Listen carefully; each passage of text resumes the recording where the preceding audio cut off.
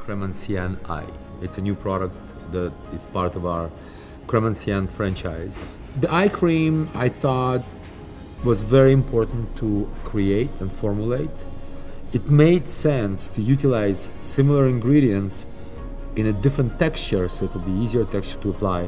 One, second, absorbency, and also incorporate a few other ingredients that specifically can address the eye areas but using sort of like the, the heritage of the creme ancienne because it works so well on the rest of the skin. I think that uh, the product is extremely effective. It's, it's natural. It brings, it's sort of, a, just there's people that connect to it. This cream is the richest cream out there because of the ingredients that were incorporated into this formula.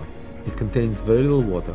The rest is oil and waxes. When you apply the cream on your face, the wax seals your face and you have the protection coating of the wax on your skin, and that's what keeps the skin so moisturized for so long. The results are very, very strong. I do an extremely moisturizing cream that is has very, very strong anti-aging claims, which is amazing considering that the formula is so natural. It's an amazing feeling to know that you can go back in history, bring a certain technology to it as in being able to renew the ingredients, but you still produce it in the same way how it was made before. I was more fascinated to hear about what was the first cream that was made and really understanding where it really started. It was created by Claudius Galenus. You know, he was a doctor at the time. He was a scientist. He, he was also a spiritual man. What we're looking today, and we're looking at the that white texture cream, and we're calling it a cream.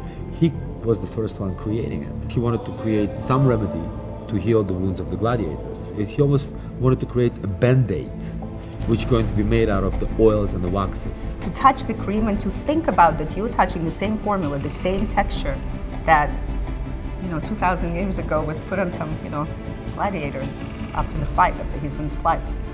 There's no way that this particular cream could ever be produced anywhere but by hand you can actually talk about the processing of making the cream.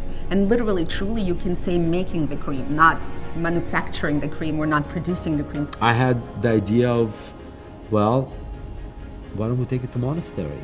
There's many parallels between the cream and its formula and the monastery. They completely got into our concept. To like the fact that we're taking something from second century AD and we're recreating it. The precision that was put into it was absolutely out of this world.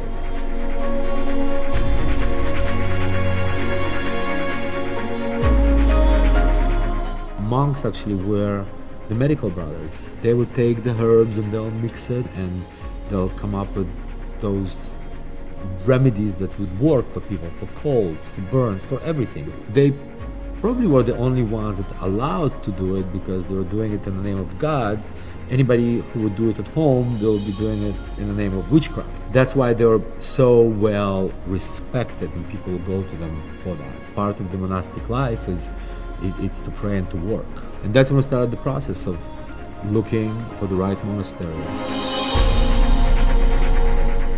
The eye cream is for everybody. It works on all skin types. We say fresh is all about modern alchemy. And those are the words that truly describe the best by Crème Ancienne.